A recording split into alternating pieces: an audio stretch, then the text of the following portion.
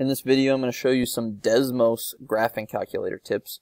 Specifically, I'm going to look at Algebra 1 type tips um, for that align with um, the Virginia State Standards of Learning. So the stuff I'm going to talk about here is I'm going to talk about graphing equations and inequalities, substitution, systems of equations and inequalities, zeros, roots, solutions, x-intercepts, which is where y equals 0, f of x equals 0. And in part two of my video, because I can only upload 15 minute videos, I'm going to do um, regression as a short video separately, so that's why it's separated here. Um, so let's go ahead and look at some old SOL type problems. So graphing equations is actually really easy in the Desmos calculator. It's actually easier than the um, graphing calculator, the TI graphing calculators, because the TI graphing calculators only graph functions. So you would have to put this in function form, which means solve it for y.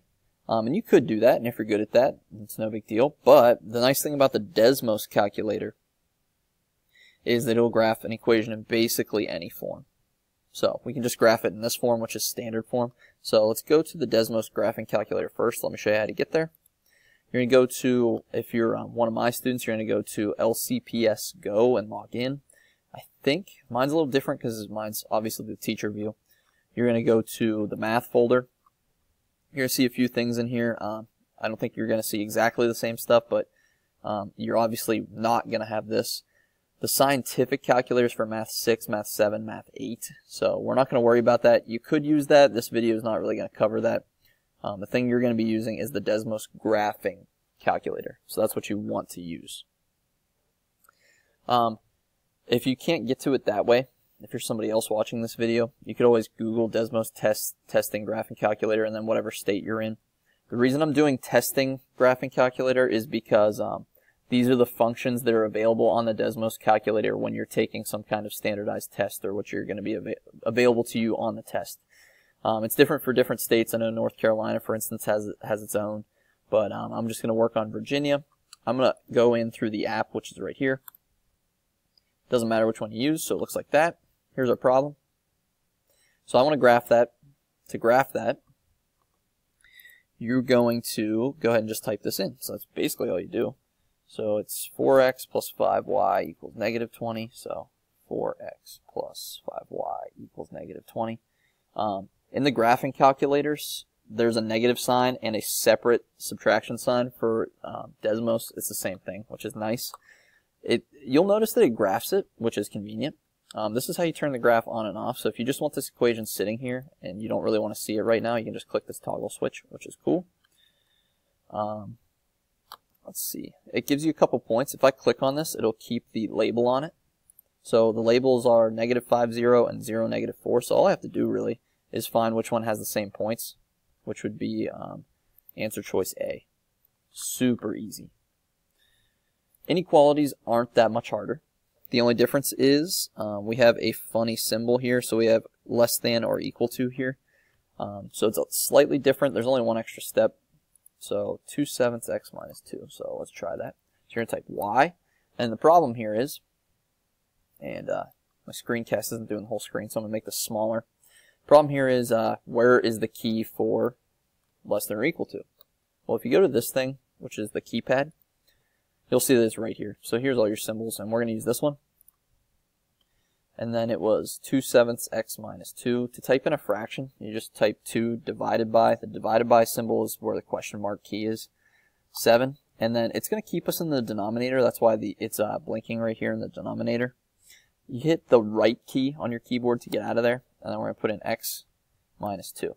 If you put this x down here in the denominator, it's actually going to do 2 divided by 7x, which isn't the same as 2 sevenths x. Okay.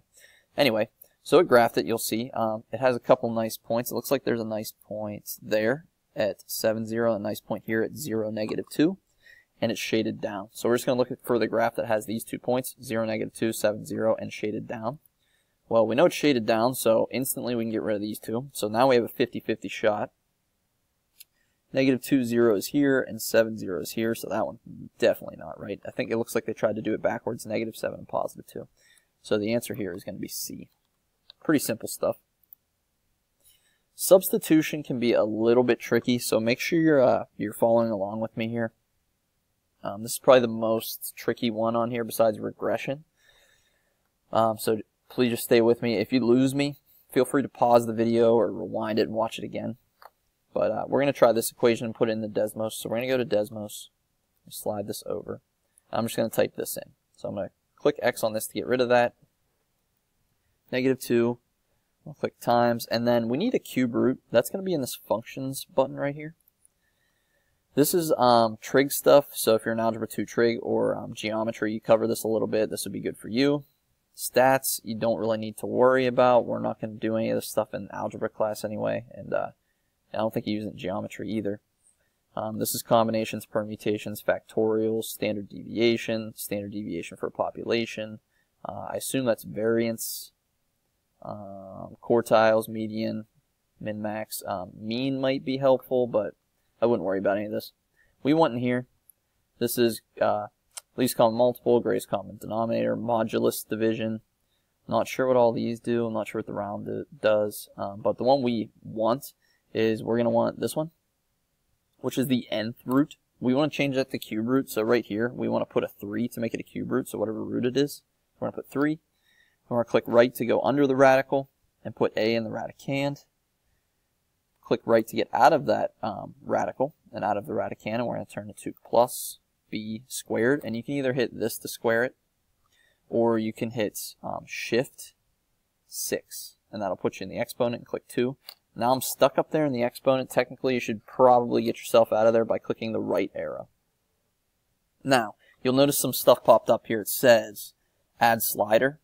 You can do this or you can just type A equals B equals. Let's just add the sliders. So the cool thing about the sliders is I can just do this and it will just tell me what the value of this um, algebraic expression is whenever A is whatever number I'm clicking here, which is kind of cool. I can do the same thing with B. I can change both of them. It doesn't matter. Um, Notice it only goes up to 10, but you can change it if you click on that number. I'm not going to mess with that too much.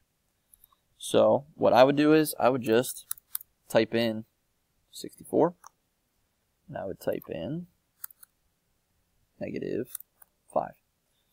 And if you go up here, it gives you the output for that expression. Super easy.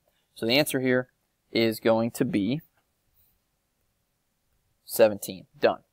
All right, so here's the tricky parts, because you're probably wondering, why was that tricky? Well, um, the problem with Desmos is, let me make this a little bigger.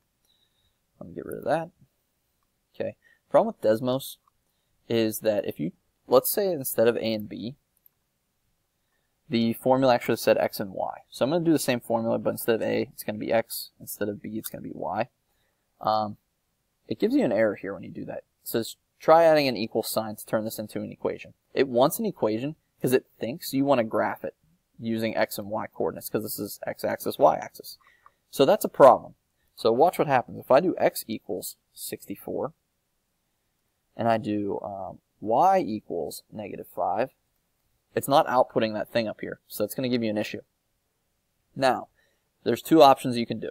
You can either know to change this to some other variable, like a and b for instance, that's what I would use, or you can make this x sub 1. So just put, if you go by uh, beside this and uh, click and then put a 1 beside it, it's x sub 1, which means like a specific x coordinate, and change this to y sub 1 by putting a 1 beside it. Now it kind of looks weird, y sub 1, this means y sub 1 squared. Kind of looks a little kooky because the 2 is directly above the 1, that's a little weird. Um, but anyway, you can do the same thing down here and just change your sliders to x1 and y1, and then it instantly works. So that's fine. Um, so just know that x and y are going to give you errors, and that's kind of the error you're going to get. Um, another type of substitution that could give you some issue, or at least another thing I'll show you, is function form. So we're going to put this in, and we're going to do f of negative 8. So let's go ahead and put that in here. Let me make this smaller again. I'm going to get rid of these guys by clicking X, and I'm just going to retype. So f of x, and I just use parentheses for this, so that's the shift 9 and shift 0, equals 11 parenthesis x minus 24 divided by 2. Now, that didn't work out too well, because I just typed it straight like that. That doesn't look the same as this.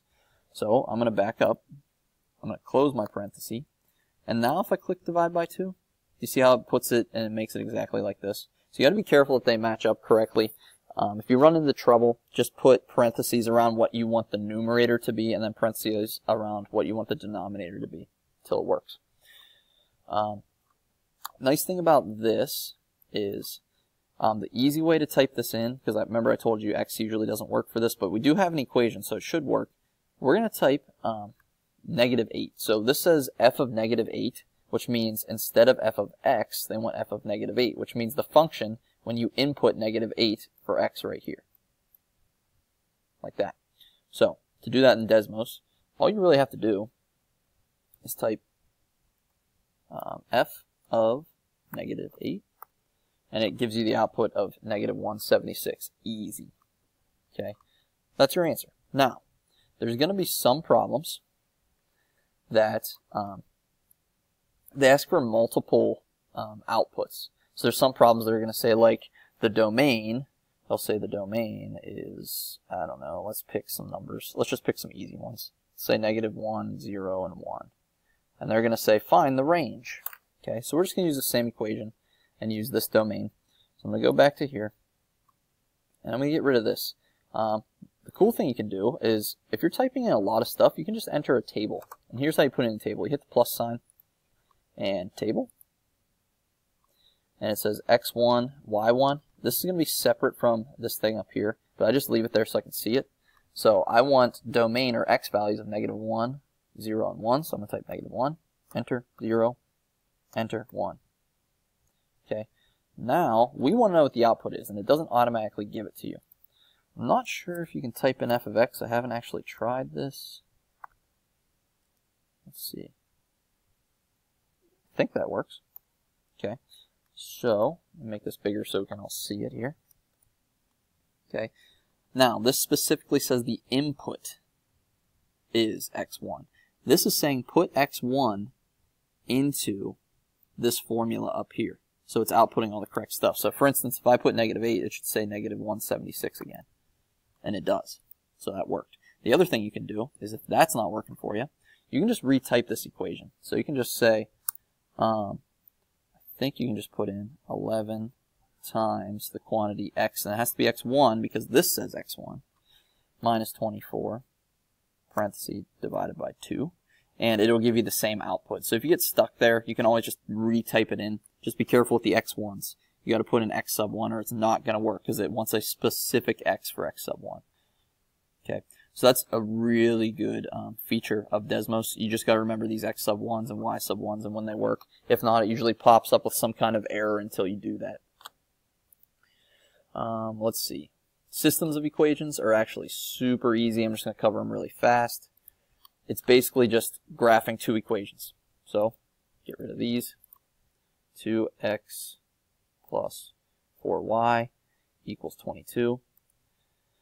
7x plus y equals 12. Okay. If you know anything about systems of equations, which you should already know about if you're watching this video, you know that um, to find the solution graphically, it's where the lines intersect. That's right here. Let's put a point there. So the answer is 1, 5.